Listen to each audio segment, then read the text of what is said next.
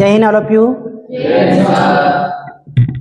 एक new topic एक new subject हमारे गैट से एक न्यू सब्जेक्ट आज हम फोकस करने वाले हैं। जैसे कि ऑलरेडी हमने हिस्ट्री के बारे में डिस्कशन किया मॉडर्न हिस्ट्री के बारे में डिस्कशन किया, उसके बाद बहुत सारे जो प्लान्स थे, सरोदय जैसा या सेल्फ जो एडमिनिस्ट्रेशन के अलग अलग जो चीज़ें थी, वो हमने डिस्कशन किया।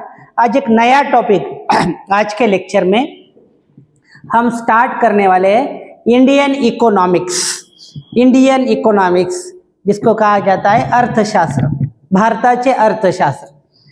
तो इसको पहले समझ लिए, बाद में उधर जाते हैं क्लास पहले इसको समझ लेंगे, बाद में वहाँ पर डिस्कशन करते हैं. ठीक है? तो कंसेप्ट हमें पहले पता होनी चाहिए जैसे इंडियन इकोनॉमिक्स ये जो वर्ड आता है, इसमें दो वर्ड जनरली हम हमारे बोलचाल के लैंग्वेज में यूज़ करते हैं। तो फ़र्स्ट जो वर्ड होता है, वो होता है economics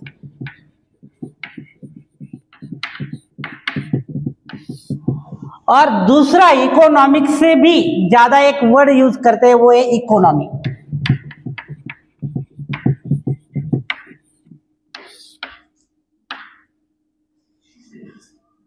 economics and economy generally हम इंडियन इकोनॉमिक्स या यूएसए इकोनॉमिक्स या रशियन इकोनॉमिक्स ये वर्ड यूज़ नहीं करते।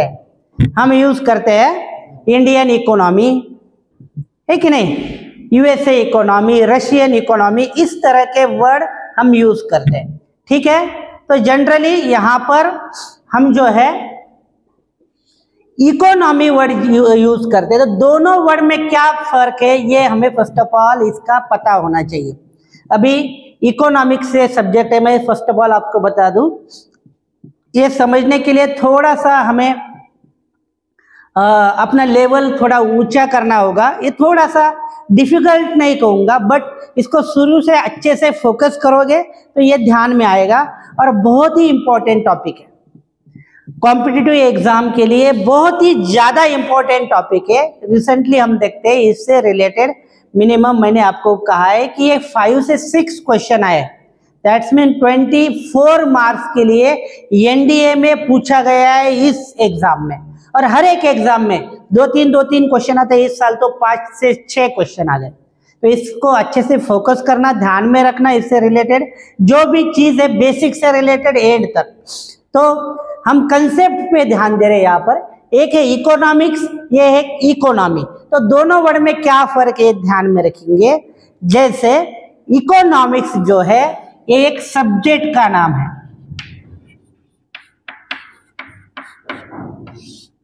ये क्या है, एक एक विषय है। जैसे हिस्ट्री होता है ज्योग्राफी होता है सोशल साइंस होता है, उस तरह इकोनॉमिक्स तो इकोनॉमिक्स दैट्स मीन अर्थशास्त्र एक सब्जेक्ट है। बट इकोनॉमी ये जो वर्ड यूज़ किया जाता है when the economics applied applied किया जाता है एप्लीकेशन होता है इकोनॉमिक्स का।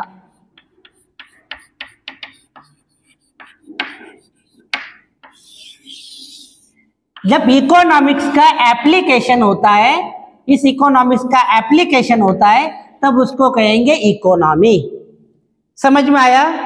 इकोनॉमिक्स का। जब एप्लीकेशन होता है, जहाँ जहाँ इकोनॉमिक्स यूज़ किया जाता है, वहाँ उसको कहा जाता है इकोनॉमी समझ में आया? यूज़ एप्लीकेशन कोई भी चीज़ का वहाँ पर प्रोसेस जब होता है प्रोसेस जब होता है दैट्स मीन्स जैसे जनरल हम कहेंगे, ये नाउन है और यहाँ पर वर्ब है. समझ में आया इस लैंग्वेज में? ये यहाँ पर कुछ ना कुछ एक्शन हो रहा है. जब इस नाउन का कुछ एक्शन होता है जब उसका वर्ब बन जाता है, उसको कहेंगे इकोनॉमी यहाँ तक समझ में आया? ये टाइटल से समझ में आया? तो इंडियन इकोनॉमी के बारे में हम डिस्कशन करने वाले हैं। वैसे ज़्यादा हिस्ट्री में नहीं जाएँगे। इसकी दो टाइप की हिस्ट्री है बट फ़र्स्ट ऑफ़ ऑल हम उस टाइटल को यहाँ पर क्लासिफाइड कर रहे हैं, उसको एक्सप्लेन कर रहे हैं, इसलिए हमें पता होना चाहिए। तो इकोनॉमिक्स ये जो वर्ड है, ये प्रॉपर वर्ड एक ग्रीक वर्ड से क्रिएट हुआ है। ठीक है? तो ये जो ग्रीक वर्ड है ओकिनोनोमिक्स। ओके? ये जो वर्ड है, इससे ये क्रिएट हुआ है। तो ये दो वर्ड है। इसे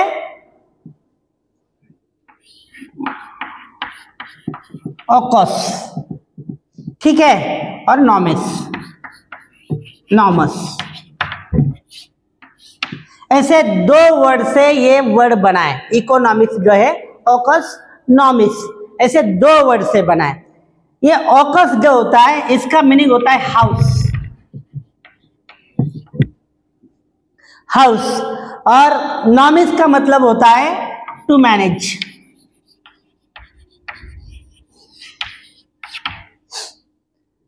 तो ये वर्ड ग्रीक में फ़र्स्ट ऑफ़ ऑल यूज़ किया गया हाउस मैनेजमेंट के लिए. ये ना कोई कंट्री के लिए यूज़ किया गया, ना इंडस्ट्री के लिए यूज़ किया गया.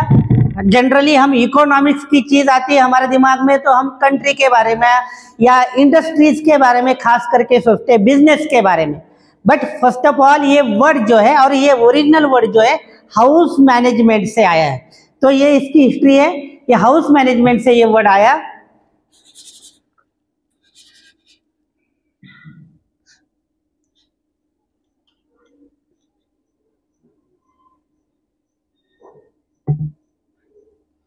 होम मैनेजमेंट, हाउस मैनेजमेंट के लिए वर्ड आया। जनरली हाउस मैनेजमेंट ये फाउंडेशन मैनेजमेंट होता है। कि कोई भी कंट्री कोई भी ऑर्गेनाइजेशन कोई भी इंस्टीट्यूशन कोई भी इंडस्ट्री उसका बेस जो होता है, वो हाउस से या होम मैनेजमेंट से स्टार्ट होता है। जिसका होम मैनेजमेंट सही हो, उसका आगे का मैनेजमेंट सही होता है। ये एक चीज़ होती है। जो पर्सन अपना होम मैनेजमेंट अच्छे से करता है, वो आगे चलकर एक अदा इंस्टीट्यूशन एक ऑर्गेनाइजेशन वो कंट्री की मैनेजमेंट हर एक मैनेजमेंट में उसका रोल वहाँ पर उसी तरह अच्छा रहेगा। तो होम मैनेजमेंट क्या है? तो जनरली कहते हैं इकोनॉमिक्स कोई बहुत बड़ा सब्जेक्ट है, ऐसा नहीं है। हमसे अलग है, ऐसा नहीं, ये सब्जेक्ट हमसे जुड़ा है। हमारे होम मैनेजमेंट से जुड़ा है, जो हमारे फैमिली में करते हैं। फादर हो, मदर हो, या जो भी अर्निंग करने वाला पर्सन है, और जो अर्निंग करने वाला नहीं भी है, वो दोनों मिलाकर यहाँ पर होम मैनेजमेंट करते हैं। वो क्या करते हैं? वो हमारे नीड्स को नंबरिंग करते हैं। फ़र्स्ट ऑफ़ ऑल क्या सोचा जाता है घर में? जनरली फॉर एग्जांपल हम अगर देखेंगे तो कितने पैसे आएँगे? या आए घर में, और कितने पैसे जाने वाले हैं? बट ये जो क्वेश्चन मार्क है, पैसे जाने वाले इसका भी नंबरिंग किया जाता है। फ़र्स्ट ऑफ़ ऑल इंपॉर्टेंट दिया जाता है फंडामेंटल नीड्स के लिए। दिया जाता है कि नहीं? तो वो नीड्स जो है, उसका जो नंबरिंग है, वो हमारे नंबरिंग हमारे जो प्लानिंग करने वाले, वो नंबरिंग करते हैं कि पहले क्या करना है, ये चीज़ करनी है। घर में नई बाइक लेनी है या हमारे बच्चे की फ़ीस पेड करनी है। ऐसे दो नीड्स होते हैं। तो यहाँ पर इम्पोर्टेंस दिया जाता है एजुकेशन के लिए। एजुकेशन के लिए इम्पोर्टेंस दिया जाता है। ये जो दूसरा जो है, इसको थोड़ा सा डिले करके या इसके लिए दूसरा मैनेजमेंट करके वो सॉल्व करने की कोशिश हमारी होम में जनरली चलता है। तो इसका नंबरिंग जो है, ये नंबरिंग इम्पोर्टेंट कहीं घूमने जाना है या घर में कुछ चीज़ लानी है, दोनों सिमिलर होता है। बट प्रायोरिटी दी जाती है कि कौन सा इंपॉर्टेंट है। ये डिपेंड ऑन प्रायोरिटी होता है। इसीलिए तो प्रायोरिटी बहुत इंपॉर्टेंट होती है हमारे होम मैनेजमेंट में या इकोनॉमिक्स में। प्रायोरिटी ऑब्जेक्टिव ये जो वर्ड है, ये बहुत इंपॉर्टेंट है हमारी इकोनॉमिक्स में। ठीक है? तो बेसिकली ये होम मैनेजमेंट से वर्ड आया है, जिसको हम इकोनॉमिक्स कहते हैं। और इकोनॉमिक जब इकोनॉमिक्स यूज़ होता है, उसको इकोनॉमी कहते हैं। नेक्स्ट वन इकोनॉमिक्स क्या होता है? जनरली इसके एक सिंप्लीफाइल यहाँ पर डिफाइंड की है डेफिनेशन दी है। तो इकोनॉमिक्स क्या करता है? Study of the use scarce resources and satisfied unlimitation human wants अभी देखिए, इस डेफिनेशन में क्या कहा है? कि ऐसे रिसोर्सेस हमारे पास जो अवेलेबल है, वो कैसे है? बहुत ही लिमिटेड है, कम है और अनलिमिटेड हमारी नीड्स है। ह्यूमन नीड्स कैसे होते हैं? अनलिमिटेड होती है। ये डिफाइन नोट आउट कर लो आप आपके नोटबुक में। तो हमारी जो नीड्स है, हमारी जो ज़रूरत है, वो अनलिमिटेड है। बट हमारे पास जो रिसोर्सेस है, वो लिमिटेड है।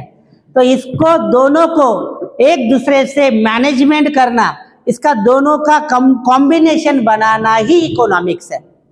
दैट्स मीन कुछ चीज़ें है हमारे पास और उसको यूज़ करना है। तो ये जो चीज़ें है वो लिमिटेड है और वो जो हम चाहते हैं हो अनलिमिटेड है। ये समझिए आप तो उसको ही इकोनॉमिक्स कहा जाता है। जो अवेलेबल चीज़ें है हमारे पास, अभी ऐसी कौन सी चीज़ें, ऐसे कौन कौन से एग्ज़ाम्पल दे सकते हैं हम? कि फॉर एग्ज़ाम्पल मनी हमारे पास लिमिटेड मनी होता है। भी मनी का कोई लिमिट नहीं है। बहुत आए तो भी उसको लिमिटेड ही होता है। बिकॉज़ हमारी जो नीड्स है, वो अनलिमिटेड है। है कि नहीं? अगर हम बुद्धिज्म के फिलोसॉफी में जाएँगे तो वहाँ पर हर एक क्रेव की, इसको लिख लीजिए, आपका ध्यान नहीं है। ये भी थोड़ी सी आदत डालिए, जिसको साइकोलॉजी में कहा जाता है स्टिमुलस वेरिएशन जब लिखते लिखते भी ध्यान देना। एक साथ दो चीज़ें करना। जब मैं यहाँ पर बोल रहा हूँ तो लिखता भी हूँ बोर्ड पे। एटलीस्ट आप जब लिखते हो आपके इसमें देखते हो यहाँ पर आपके कान इधर होने चाहिए। ये सीखना पड़ेगा आपको। इससे इंक्रीज होता है। आपका लर्निंग प्रोसेस इंक्रीज होता है। चलो, लिख लिया आपने, ध्यान दीजिए। कहाँ पर थे? मैं नीड्स के बारे में बता रहा था। अगर हम फिलोसॉफी में जाएँगे तो बुद्धिज्म में कहा है कि हमारी जो विल है हमारी जो क्रेव है, जिसको मनीषा कहा जाता है, इच्छा कहा जाता है, आकांक्षा कहा जाता है, वो अनलिमिटेड है। ठीक है नहीं? और वही हमारे सैरो का मेन कॉज है। ठीक है नहीं? वही कॉज है, वही कॉज बताया। तो ये अनलिमिटेशन ये जो है, ये पहले से, जब से मानव जाती है, वो अनलिमिटेड है। और ये अनलिमिटेड नहीं होता तो डेवलपमेंट भी नहीं होती है ध्यान में रखिए। डेवलपमेंट कैसे होती है? डेवलपमेंट कैसे होती, किसी चीज़ की ज़रूरत होना और उसके सोल्यूशन निकालना, फिर वो आगे बढ़ता है इंसान। तो इसलिए इकोनॉमिक्स क्या करता है, जो रिसोर्सेस हमारे पास है, उसको और जो हमारी नीड्स है, उसका कॉम्बिनेशन बनाना। फॉर एग्ज़ाम्पल अभी दुनिया सर्च कर रही है कि वाटर पे कैसे व्हीकल चल सकती है। कर रही कि नहीं? दुनिया ये सर्च कर रही है कि अभी सोलर एनर्जी हम व्हीकल में कैसे यूज़ कर सकते हैं? हम तो अनादर यूज़ कर रहे हैं। आज भी यूज़ कर रहे हैं। घर पे सोलर पैनल लगा रहे घर में इलेक्ट्रिक कार ले ली। यूज़ हो रहा है इनडायरेक्टली नेचुरल रिसोर्सेस ये कब इंसान ने सोचा? बिकॉज़ हमारे जो रेयर जो रिसोर्सेस है हमारे, बहुत रेयर है। फॉर एग्ज़ाम्पल पेट्रोल डीजल इसलिए हमने क्या कहा? जो अनलिमिटेड है, उसकी तरफ़ गए हम। हमने सोचा, इंसान ने सोचा। हमने दैट्स मीन सारे इंसान ने सोचा कि ये जो इकोनॉमिकल मैनेजमेंट करना है हमें जो व्हीकल के लिए ट्रांसपोर्टेशन के लिए एक एग्जांपल दे रहा हूँ। जहाँ पर पेट्रोल डीजल इनकी प्राइस इंक्रीज हो रही है। पोल्यूशन क्रिएट हो रहा है तो उसके ऊपर सोल्यूशन क्या है? इलेक्ट्रिक कार्स वगैरह इलेक्ट्रिक ट्रांसपोर्टेशन इसके क्या करेंगे? नेचुरल रिसोर्सेज यूज़ करेंगे। घर पे लगाएँगे सोलर पैनल उसकी इलेक्ट्रिसिटी जनरेट होगी, फिर वो व्हीकल में यूज़ करेंगे। पोल्यूशन भी कम हुआ पेट्रोल डीजल भी जो एक लिमिटेड हमारा सोर्स है वो भी हम वहाँ पर बचा सके। ये गवर्नमेंट या कोई भी आम इंसान सोच रहा है दैट्स वाई इसको ही मैनेजमेंट इसको ही इकोनॉमिक्स कहते हैं। समझ में आया आपको? इकोनॉमिक्स की डेफिनेशन यही है कि जो हमारे पास सोर्सेस है, उसको हम यूटिलाइज कैसे करेंगे या उसको खत्म कर देंगे। अगर एक बार खत्म हुआ तो फिर बहुत सारे प्रॉब्लम्स क्रिएट होते हैं।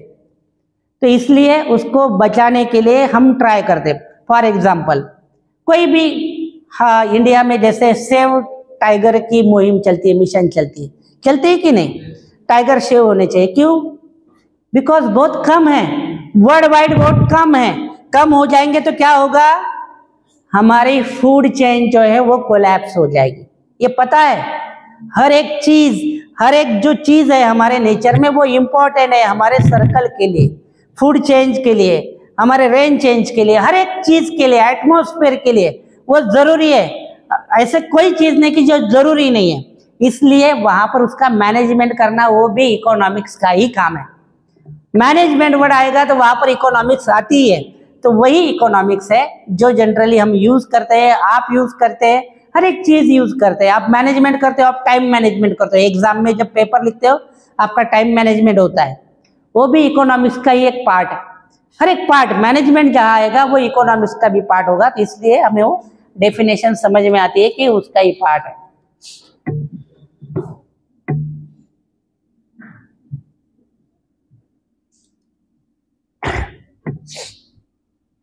देखिए इकोनॉमिक्स में कौन कौन से जनरली कंसेप्ट होते किससे रिलेट होती है economics fundamental of economics concept तो इसमें फंडामेंटल ऑफ़ इकोनॉमिक्स यहाँ पर क्या है? Economics is the part of social science which is the associate with a study of किस किस का स्टडी करता है ये सब्जेक्ट दैट्स मीन इसमें दिया है the scope of economics in short economics का स्कोप क्या होता है? उसका विस्तार क्या होता है?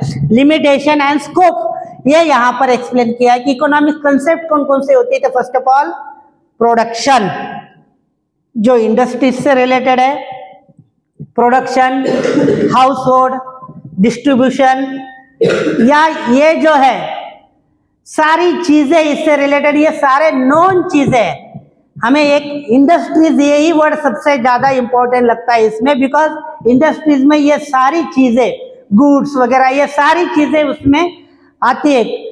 तो इसलिए गवर्नमेंट भी एक इकोनॉमिक्स का ही मैनेजमेंट का पार्ट है, या डिसीज़न मेकिंग ये भी इकोनॉमिक्स का पार्ट है। अभी अभी मैंने टाइम मैनेजमेंट का पार्ट इम्पोर्टेंस बताया आपको, वो भी डिसीज़न मेकिंग में ही आता है, और डिसीज़न मेकिंग भी is the part of economics तो ये सारे सब्जेक्ट डिस्ट्रीब्यूशन हुआ, ये सारे सब्जेक्ट जो हम वितरण करते हैं, वो भी सारे इकोनॉमिक्स के ही सब्जेक्ट है। तो जब जब ये सारे वर्ड आएँगे, इसमें इकोनॉमिक्स होगी ही डिसीज़न मेकिंग वहाँ पर भी, अभी कोई हम इमोशनली या कोई हम इंटेलिजेंसली कोई डिसीज़न ले रहे उसके बिहाइंड इकोनॉमिक्स होती है कहीं ना कहीं। उसके बिहाइंड मैनेजमेंट होता है। अगर कहीं मेंटली हम डिसीज़न लेते हैं इमोशन से रिलेटेड तो वहाँ पर भी सेटिस्फैक्ट्री अनसेटिस्फैक्ट्री ऐसे दो फैक्टर आते हैं। तो वो वहाँ पर मैनेजमेंट होता है और जहाँ मैनेजमेंट है, वहाँ पर इकोनॉमिक्स होता है। तो ये पार्ट है इकोनॉमिक्स के। इंडस्ट्रीज़ खास करके प्रोडक्शन या डिस्ट्रीब्यूशन ये सारे पार्ट जहाँ पर इकोनॉमिक्स आता है और ये इंपॉर्टेंट पार्ट है इकोनॉमिक्स के। सिर्फ़ कंसेप्ट समझने के लिए ये। सक्सेस ऑफ़ इकोनॉमिकल प्लानिंग अभी इकोनॉमिकल प्लानिंग सक्सेस करने के लिए कौन कौन सी ऐसी चीज़ें होती है जो हमें पता होनी चाहिए? तो यहाँ पर देखिए, बहुत सारे पॉइंट दिए increase the national income rise in the per capita income अभी नेशनल इनकम कब इंक्रीज होगा? जब पर कैपिटा इनकम इंक्रीज होगा। पर कैपिटा को कहा जाता है दर डोही उत्पन्न. ओके दर डोही दैट्स मीन एक डोक. कितनी कम होता है कि नहीं? तो ये पर कैपिटा जो इनकम है, वो इफ़ेक्ट करता है नेशनल इनकम पे. पर कैपिटा इंक्रीज होगा तो नेशनल इनकम इंक्रीज होगा. तो ये इंपॉर्टेंट पॉइंट है. उसके बाद increase the saving and investment अभी दो अपोजिट वर्ड दिए यहाँ पर, और दोनों भी इंपॉर्टेंट है. सेविंग ऑल्सो इन्वेस्टमेंट सेविंग क्यों इंपॉर्टेंट है? यहाँ पर कुछ परसेंटेज सेविंग भी होनी चाहिए सिक्योरिटी के लिए। और इन्वेस्टमेंट इन्वेस्टमेंट को कहा जाता है इकोनॉमिक्स में इन्वेस्टमेंट को कहा जाता है। अगर मनी इन्वेस्टमेंट हो तो उसको कहा जाता है कैपिटल जो पैसा दौड़ता है, उसको कहेंगे कैपिटल्स राजधानी वाला कैपिटल नहीं कैपिटल्स ओके जो पैसे दौड़ते दौड़ते दैट्स मीन्स जो पैसे से पैसे कमाते हैं। कभी कभी लॉस भी होता है मगर जो पैसे इन्वेस्ट करते हैं, उसको हम कैपिटल्स कहते हैं। और जो पैसे हम एक वर्ड उसके बिफोर दिए, सेविंग्स सेविंग्स भी इम्पोर्टेंट है। जितना सेविंग्स है, उसका कंपेरिजनली कैपिटल्स और सेविंग को हमको बैलेंस करना होता है, तभी इकोनॉमिकल स्टेबल होता है, इकोनॉमिकल स्टेबिलिटी आती है। तो सेविंग भी इंपॉर्टेंट है। तो जो इसको बैलेंस कर सकता है, वो सक्सेसफुल इकोनॉमिकल प्लानिंग होती है। और खास करके हमारे इंडियंस इसमें बहुत ही आगे, इसलिए हम अभी बहुत ग्रोथ कर रहे हैं। हमने रिसेंटली आप देखे इकोनॉमिकली हम अब थर्ड प्लेस पे आए हैं, इसी मंथ अगर हम इकोनॉमिकली कंडीशन के बारे में सोचेंगे तो हमारा अभी थर्ड है। पहले हम फोर्थ में थे first USA second China third Japan fourth India था, भारत था। अभी जापान को भी हमने पीछे छोड़ दिया है बिकॉज़ सेविंग्स एंड इन्वेस्टमेंट ये दोनों भी फोकस पे हम बैलेंस कर रहे हैं। और हमारे इंडियंस की पहले जो मेंटेलिटी थी, वो सेविंग्स की मेंटेलिटी थी।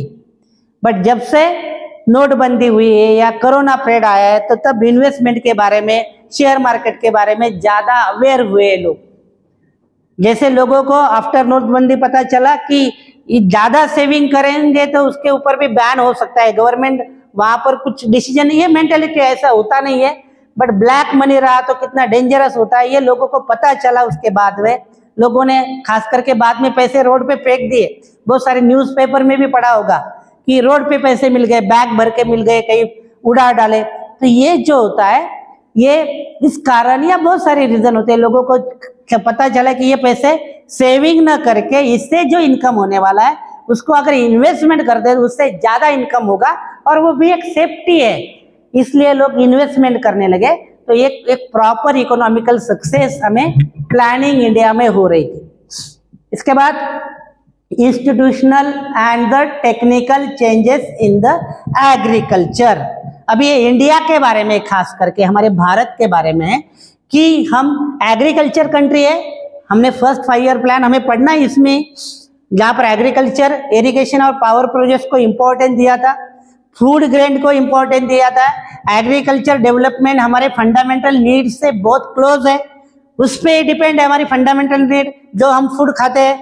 दैट्स वाई यहाँ पर एग्रीकल्चर में चेंजेस कौन से चेंजेस चाहिए? वहाँ पर टेक्निकल चेंजेस और आज बहुत सारे टेक्निकल चेंजेस आ रहे हैं। हम यहाँ पर मॉडर्न एग्रीकल्चर फ़ार्मिंग कर रहे हैं। हमारी मॉडर्न फ़ार्मिंग है यहाँ पर। हर एक मॉडल चीज़ हम यहाँ पर एग्रीकल्चर में यूज़ करें। इसके कारण एक फ़ूड ग्रेन में फुलफिल कंट्री हम बन, गए। जो इंपोर्ट में सबसे आगे थी बिकॉज़ हम पॉपुलेशन बहुत बड़ी थी हमारी अब हम एक्सपोर्ट में बहुत आगे हो रहे हैं। बहुत सारी चीज़ों में ऐसी बहुत सारी चीज़ है जिसमें हम टॉप मोस्ट पे हैं। हम एक्सपोर्ट में फोर्थ फाइव से फिफ्थ रैंक में हम कोल में हैं। शुगर में भी हम दो तीन चार नंबर के कोई रैंक में है जूट में नंबर वन पे हम आयन में भी दो तीन रैंक में वर्ल्ड वाइड में बता रहा हूँ, जो इम्पोर्टेंट इम्पोर्टेंट चीज़ें होती है, उसमें एक्सपोर्ट में हम बहुत आगे एग्रीकल्चर प्रोडक्ट्स यहाँ पर एक्सपोर्ट में बहुत आगे हम। इवन कॉपर आयन ये जो चीज़ें इलेक्ट्रिसिटी ये सारी चीज़ें पेट्रोलियम डीजल ये सारी चीज़ें यस इसमें मसाले जो है हमारे, इसमें भी बहुत आगे हम इसमें एक्सपोर्ट कर रहे हैं। ऐसी बहुत सारी चीज़ें हैं जहाँ पर, और खास करके टेक्नोलॉजी जो हम वहाँ पर एक्सपोर्ट कर रहे हैं टेक्नोलॉजी हमारे सॉफ्टवेयर हमारे कंप्यूटर्स हार्डवेयर हम वर्ल्ड में टॉप वन है। दैट्स मीन्स यहाँ पर जो एग्रीकल्चर डेवलपमेंट की बात हुई है, जिसमें टेक्नोलॉजी आनी चाहिए, आज भी देखिए, ये बहुत बहुत डेवलपमेंट की एक चीज़ है। अगर हम महाराष्ट्र के बारे में सोचेंगे गाँव गाँव जाकर देखिए, हमको नहीं पता होता एजुकेटेड लोगों को बारिश कब होने वाली है, मगर वो जुड़े रहते हैं। हमारे क्लाइमेट डिपार्टमेंट से और हमारे महाराष्ट्र का एग्ज़ाम्पल देंगे तो पंजाब डक का नाम आपने सुना होगा। ठीक है नहीं? जो क्लाइमेट के बारे में बताते हैं कि मॉर्निंग में 11 बजे बारिश होने वाली है और एक 80 90 परसेंट उनके जो ये होते हैं, वो जो बताते हैं कि इस तारीख को ये बारिश होने वाली है। या हमारा डिपार्टमेंट भी बता रहा है टेक्नोलॉजी का यूज़ करके। तो एग्रीकल्चर डेवलपमेंट के लिए बहुत इंपॉर्टेंट हुआ है। उसका यूज़ हुआ है। ये ध्यान में रखेंगे। तो ये जो टेक्नोलॉजी है, सिर्फ़ ट्रैक्टर वगैरह आए इसलिए नहीं, ऐसी बहुत सारी टेक्नोलॉजी इरिगेशन में टेक्नोलॉजी है। हमारे फर्टिलाइज़र में टेक्नोलॉजी है। फर्टिलाइज़र देने में टेक्नोलॉजी है। आज हम देखते हैं कि ड्रोन किस चीज़ के लिए यूज़ किया जाता था। पहले हम देखते थे ड्रोन जनरली मैरिज सेरेमनी में या कोई बड़े प्रोग्राम में देखते हैं, आज ड्रोन हम अभी फ़ार्मिंग में देख रहे हैं। ये कितनी बड़ी डेवलपमेंट है। फ़ार्मिंग में ड्रोन है। यहाँ पर अगर फ़ार्मिंग करना है, यहाँ पर कोई फर्टिलाइज़र डालना है तो वहाँ पर ड्रोन है आज हमारे पास। कितना इजी हुआ है। टेक्नोलॉजी का कितना अच्छा यूज़ हम कर रहे हैं। हमारे टेक्नोलॉजी हमारे मोबाइल में ऐसे बहुत सारे ऐप बनाए एग्रीकल्चर के लिए। कोई प्लांट में अगर कुछ हो रहा है कुछ डिसीज आ रहा है, अगर फ़ोटो निकाल कर डालेंगे वो आप में तो आप बता, वो बताएगी कि कौन सा फर्टिलाइज़र यूज़ करना चाहिए। इसीलिए तो एग्रीकल्चर जो डिपार्टमेंट रहा है, वो अभी एजुकेटेड लोगों का काम है। अनएजुकेटेड लोग जो है अनएजुकेटेड का मतलब जो पढ़ नहीं सकते, ये नहीं कहना है। जो नहीं यूज़ कर रहे, वो बहुत पीछे जो यूज़ कर रहे, वो वहाँ पर डेवलप हो रहा है। उसके बाद इंडस्ट्री ग्रोथ की बात हुई है। यहाँ पर ग्रोथ की इंडस्ट्रियल डेवलप की इकोनॉमिकल इंफ्रास्ट्रक्चर की बात हो रही है। इकोनॉमिकल इंफ्रास्ट्रक्चर क्या होता है? इकोनॉमिकल कमिटीज इकोनॉमिकल के related another sub committees that's mean banking वगैरह या बचत ग्रुप जो हम बोलते हैं, है कि नहीं? ये सारी चीज़ें यहाँ पर इंफ्रास्ट्रक्चर में आती है।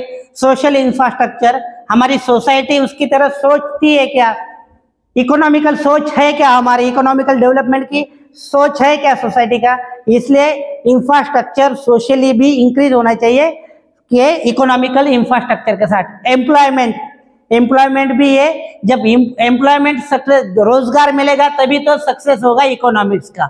और इंटरनेशनली ट्रेड्स जो जागतिक व्यापार है, उसके बारे में भी सोचना ये इकोनॉमिकल डेवलपमेंट है। सिर्फ़ कोई कंट्री सफिशेंट बन गई फ़ूड में अनदर किसी चीज़ में तो उसको सक्सेस आज उस लेवल पे सक्सेस नहीं कहा जाता है। अगर वो इंटरनेशनली बहुत बड़े ट्रेड कर रही है, व्यापार कर रही है तो उसको एक सक्सेस कंट्री कहा जाता है।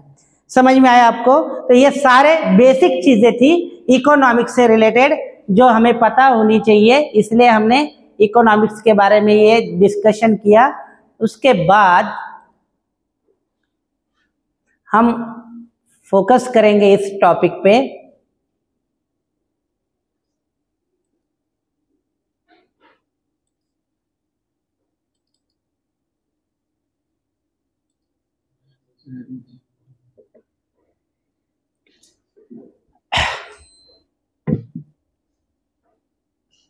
चलो।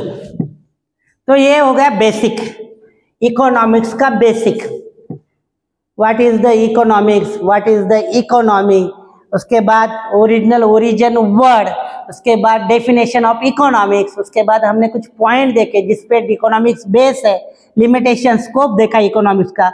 उसके बाद कुछ इकोनॉमिक सक्सेस होने के लिए कौन से पॉइंट इंपॉर्टेंट है, उसके बारे में हमने डिस्कशन किया। अभी मेन टॉपिक पे आते हैं। इंडियन इकोनॉमी जो बेस है, वो बेस है हमारे फाइव ईयर प्लान पे। अगर हम पहले से अगर देखते हैं फाइव ईयर प्लान ये बेस है हमारी इंडियन इकोनॉमी का। और फाइव ईयर प्लान ही फाइव ही क्यों? फाइव ही क्यों? ये ध्यान में रखिए। ये क्वेश्चन पूछा करो हर एक टाइटल को। तब आपको वो टाइटल समझ में आएगा। फाइव ही क्यों यूज़ किया? फाइव ईयर प्लान कोई भी गवर्नमेंट का वेरी गुड जनरली हमारे इंडिया में हम देखते हैं कि डेमोक्रेसी है और डेमोक्रेसी में हमारी संसद है। और संसद का जो इम्पोर्टेंट पार्ट है फ़र्स्ट जो हाउस है लोकसभा, उसके जो मेंबर्स हैं एग्जीक्यूटिव्स हैं prime minister president MPs all M या स्टेट में आते हैं, वहाँ पर लेजिस्लेटिव असेंबली है, उसका जो ड्यूरेशन देखते हैं टू ईयर देखते हैं फाइव ईयर है। पीरियड उनका फाइव ईयर है चीफ मिनिस्टर का फाइव ईयर में। अब ग्राम पंचायत में अभी अभी हमने यहाँ पर डिस्कशन किया, उसका भी पीरियड कितना है? फाइव ईयर है। सरपंच का कितना है? फाइव ईयर है। अगर कोई भी पर्सन कोई भी नया एग्जीक्यूटिव कोई भी वहाँ पर गवर्नेंस आ रही है तो उसको एटलीस्ट फाइव ईयर वो उसका प्लान रहे। दैट्स वाई यहाँ पर फाइव ईयर प्लान इंडिया में अडॉप्ट हुआ। But directly five year plan adopt हुआ तो फाइव ईयर प्लान ऐसा हम नहीं कह सकते। इसकी भी हिस्ट्री है और उसकी दो टाइप्स की हिस्ट्री है।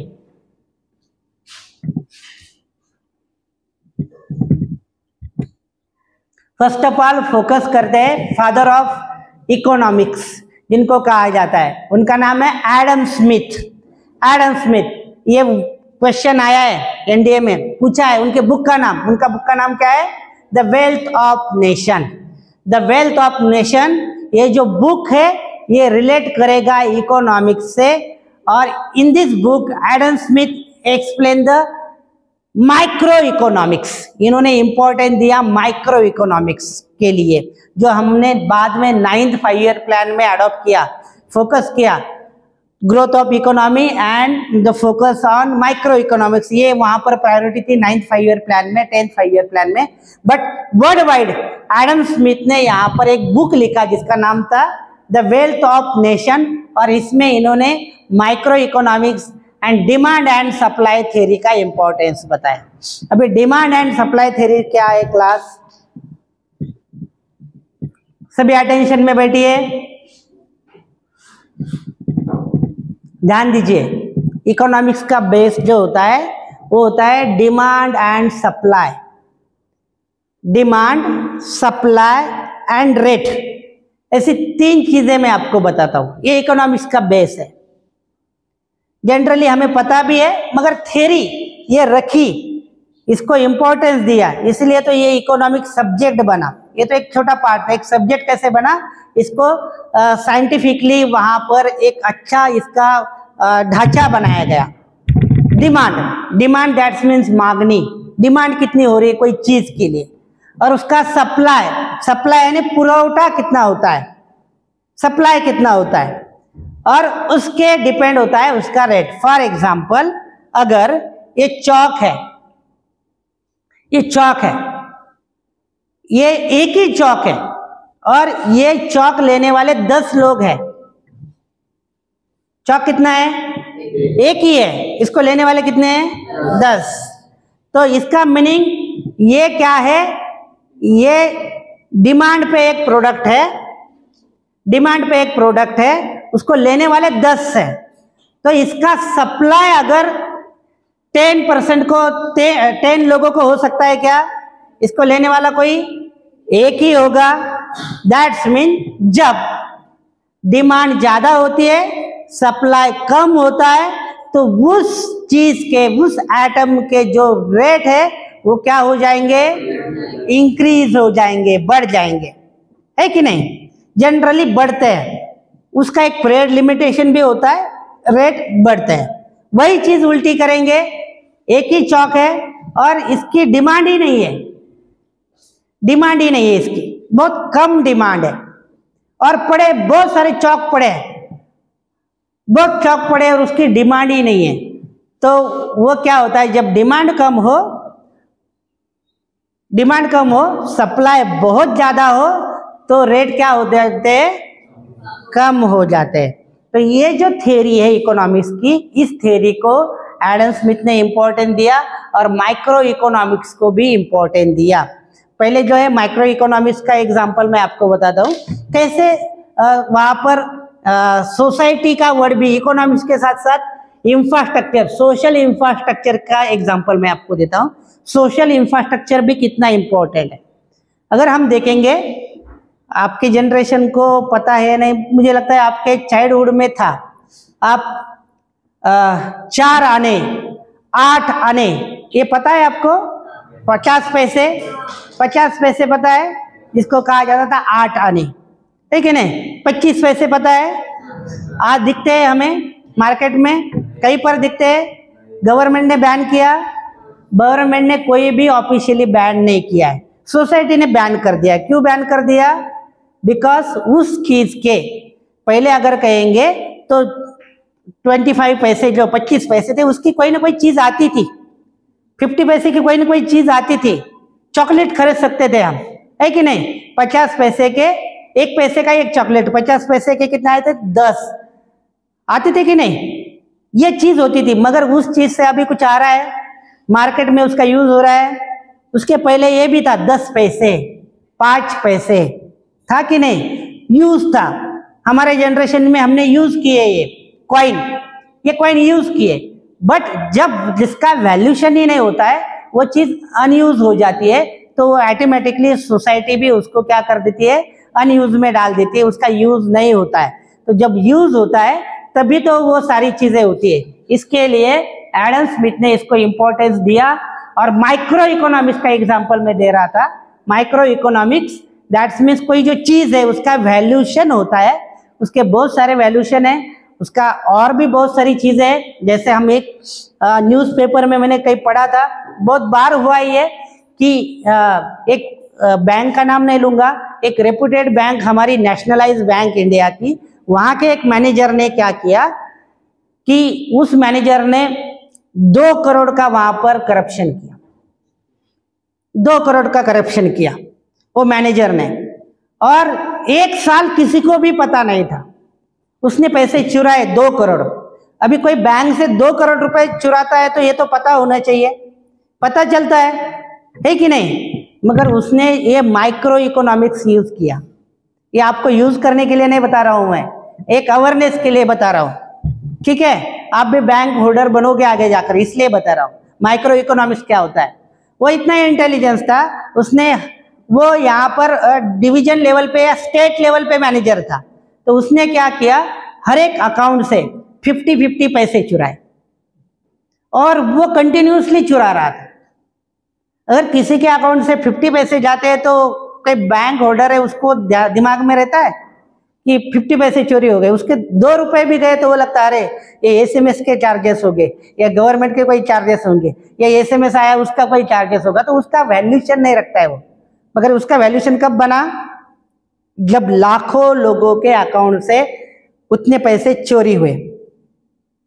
होते हैं कि नहीं? तो ये माइक्रो इकोनॉमिक्स है। अभी एक निगेटिव एग्जांपल दिया तो उसने वो बाद में पता चला, कोई अवेयर था बैंक होल्डर जिसका अकाउंट है, उसने कहा कि ये पैसे कहाँ गए? जब उसने एप्लीकेशन किया, तब बाकी वो वहाँ पर पता चला कि इसने हर एक अकाउंट से इतने पैसे जुड़ाए। और वो कंटिन्यूसली हर मंथ वो कर रहा था इसके कारण उसके पास पैसे आए ये हुआ एक निगेटिव एग्ज़ाम्पल एक माइक्रो इकोनॉमिक्स का एक पॉजिटिव बहुत अच्छा एग्ज़ाम्पल मैं आपको देता हूँ। हम सोशल मीडिया पे एक मैसेज देखते हैं कि कोई ऐसा एक बच्चा है और उसको ऐसे एक बीमारी है और वो बीमारी बहुत बहुत ज़्यादा पैसे लगने वाले उसको। उसको लगने वाले हैं फिफ्टी लैक्स रुपए लगने वाले हैं। है कि नहीं? फिफ्टी लैक्स रुपए लगने वाले हैं और वो पावर्टी बहुत गरीब है मगर ऑपरेशन करना है और उसके लिए ये चीज़ें चाहिए तो आप डोनेट कीजिए। कितना डोनेट कीजिए? वन रुपीज़ या ten rupees one rupees donate कीजिए। अभी हमारी पॉपुलेशन देखेंगे जो सोशल मीडिया पे उसमें से सिर्फ़ फाइव परसेंट भी लोग डोनेट करते हैं। फाइव परसेंट कह रहा हूँ मैं। टू परसेंट भी कहता हो तो वो फिफ्टी लैक्स हो जाएँगे। समझ में आया? ये अल्सो एक पॉजिटिव एग्ज़ाम्पल है माइक्रो इकोनॉमिक्स का। तो इकोनॉमिक्स कहाँ कहाँ काम करते हैं ये ध्यान में रखिए। एक रुपीज़ जो होता है या टेन रुपीज़ जो होते हैं वो कितने इंपॉर्टेंट है? बहुत ऐसे निगेटिव जो करप्टेड भी एमएलए एमपीज है, बहुत ऐसे एमपीज एमएलए है, जहाँ के लोग वन वन रुपीज़ जमा करके उस उनको इलेक्शन लड़ने के लिए खड़ा करते हैं। और वो जीत के भी आते हैं। One one rupees ten ten rupees देकर खड़ा करते हैं। और वो जीत के भी आते हैं। ये भी एक माइक्रो इकोनॉमिक्स का एक एग्ज़ाम्पल है। तो माइक्रो इकोनॉमिक्स ये बहुत बड़ा सब्जेक्ट है जो किसने रखा? Adam Smith that's why Adam Smith is known as the father of modern economics modern economics economics की एक अलग सोच माइक्रो इकोनॉमिक्स ने दी है। इसलिए एडम स्मिथ हमारे लिए इंपॉर्टेंट हो जाते हैं। So class there are two types history of Indian five year plan first is the international history and second is the national history so first of all we have focus on international history हम focus करेंगे first of all international history पे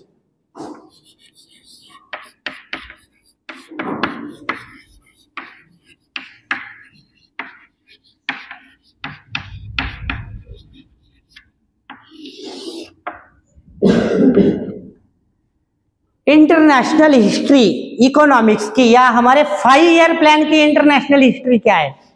ये भी हमें पता चाहिए कि ये five year five year five year कहाँ से आया ये फाइव ईयर इसकी हिस्ट्री क्या है? ये हमें पता होनी चाहिए। तो फ़र्स्ट ऑफ़ ऑल हम हिस्ट्री पे फोकस करते हैं यहाँ पर कि ये कहाँ से आया है?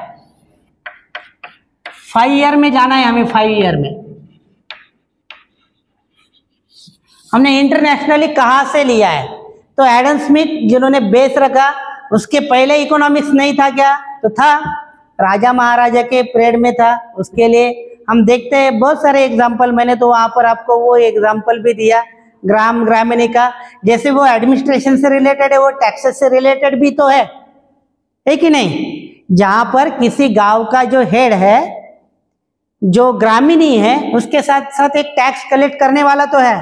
या हम देखते हैं पहले वैदिक पीरियड में जो कुलकर्णी वगैरह, ये जो आप सर नेम बन गए, किसी रिलीजन से रिलेटेड कोई सर नेम बन गए, कोई रिलीजन से रिलेटेड कोई चीज़ बन गई, कोई कास्ट बन गई, पहले तो ये तो एक पोस्ट थी, जो टैक्सेस वगैरह जमा करते थे, है कि नहीं? तो ये सारी जो चीज़ें है, पहले से मैनेजमेंट हमारे पूर्वजों से है यहाँ पर बट मॉडर्न इकोनॉमिक्स जो माइक्रो इकोनॉमिक्स की बात करती है, जब जब मैंने अभी आपको माइक्रो इकोनॉमिक्स कही वो हिस्ट्री हमें डिस्कशन करनी है। तो international history than national history और then five year plan plan के बाद उससे रिलेटेड और भी जो अलग अलग कंसेप्ट है, वो हम डिस्कशन करेंगे नेक्स्ट पीरियड से। ठीक है? समझ में आ रहा है आपको? ऊपर से जा रहा है। ओके डाउट होंगे तो आप डाउट निकाल के रखो। हम वो डाउट सॉल्व करके आगे बढ़ेंगे। ठीक है?